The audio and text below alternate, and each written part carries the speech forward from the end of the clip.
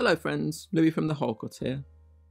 I don't do shoe videos very often, but here we are as yet again I allowed myself to be suckered into buying eye-catching and flashy shoes over the classic elegant shoes I often see other people wearing. These are the Barker Grant Oxford Wingtip Brogues in rum and mustard.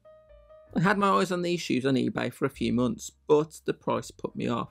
That was until the seller sent me an offer for £49.98, including postage, and I finally pulled the trigger. Let's talk a bit about the brand.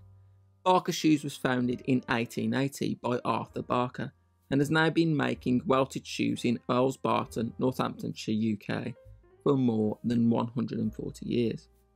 So many Northamptonshire brands have fallen by the wayside over the years, but Barker is still going strong and apparently still sells 400,000 pairs of shoes every year.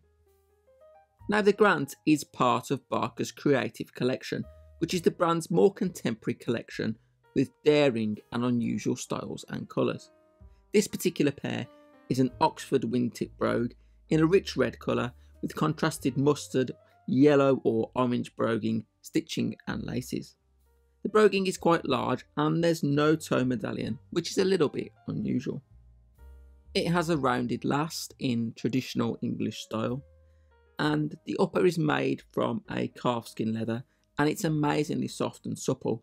It caught me a little bit off guard, to be honest. There's a little defect here where the dye has run, and there's also a few scuffs which I have covered using Saphir cream polish. They are Goodyear welted with a leather sole and a heel stack with a rubber tip for extra grip. The soles look a bit grimy, but there is still plenty of wear left in them yet.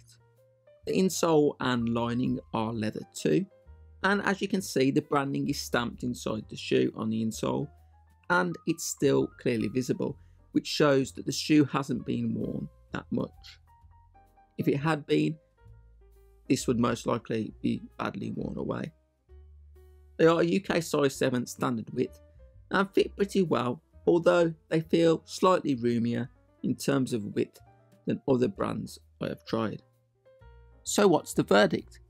Well, as with all types of flashy shoe, if you have the basics covered with your blacks and dark browns and you're feeling a bit more adventurous, then sure, try something a little bit quirky and different like these brogues from Barker Shoes.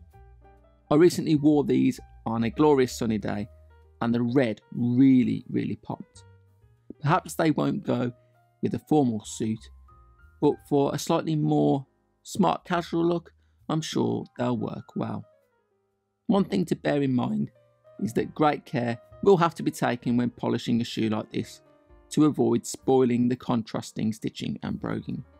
Of course, a similar effect could be achieved by using a regular pair of coloured shoes and contrasted laces, but I don't think the end result would be quite as eye-catching or satisfying. I believe that Barker sold a matching belt to go with these shoes, but the chances of finding one are probably very slim, but you never know. That's it for today. Let me know what you think in the comments down below. If you enjoyed this video and would like to see more shoe videos, then please consider liking and subscribing. The channel has just hit 2,000 subscribers. What an absolute privilege. Thank you so much to everyone who has supported me so far. Thanks for watching, and I'll see you again next time.